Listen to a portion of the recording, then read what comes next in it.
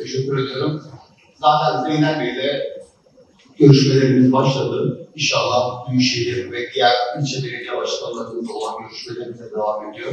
Bize büyük katkılar vereceği konusunda hiçbir endişemiz, hiçbir eee sıkıntımız olmadığını düşündüğümüz bir platforma doğru geldik.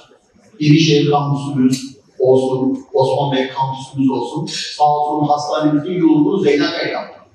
Yani bakıldığı zaman trafiğin rahatlaması, bazı şeylerin yapılması, üniversite eliyle bazı şeyleri biz yapacağız, bazı şey, e, işlerde de halkımız, belediyelerimiz bize yardım etmek zorunda ki birlikte hızlı yol alabilelim.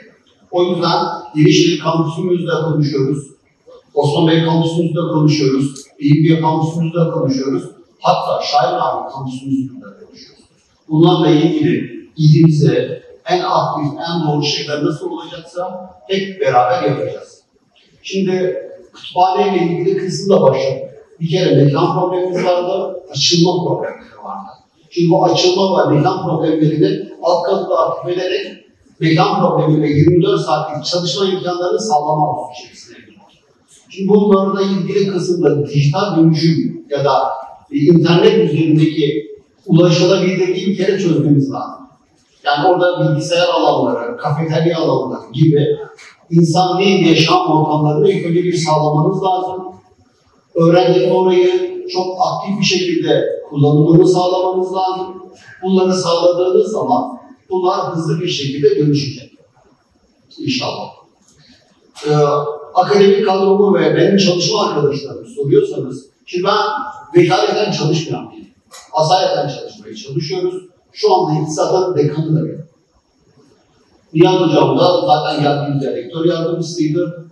Ee, Sabri Hocam'la çalışıyordu. Bizim yakın çalıştığımız bir arkadaşımızdı. Kendisi de kadromuza ya da beraber devam ettik. Seçimlerden sonra ben kendi kadromu hem beraber çalıştığımız kadroyu daha sonra aktif kadro haline getirmekle ilgili köke yazıyorsunuz. Ve bunların kendi içerisinde mesela iki adım yazdığım benim dekanım var. Bunlar kendi içerisinde bir süre içerisinde gelecekler ve aktif hale gelecek bunlar. Zaman alıyor biraz. Çünkü bunların güvenlik soruşturmaları var. Bu ya- yazım ve çizim işleri çünkü gövdede bir dönüşüm var. Bakın ilk aldığım yönetim kurulu kararı hocaların bu e, projelere takılmama kararı. Dört ay önce almıştım. Ve göke göndermişiz. Daha çıkmadı. Gök üyeleri değişiyor, Gökte rektörlerin büyük bir kısmının değişimi söz konusu.